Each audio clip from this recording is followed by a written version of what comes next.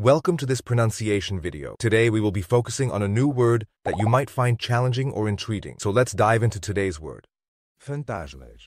which means Ghosts, spirits, apparitions often seen as supernatural entities. let's say it all together. Fantasmas. Fantasmas. Fantasmas. One more time. Fantasmas.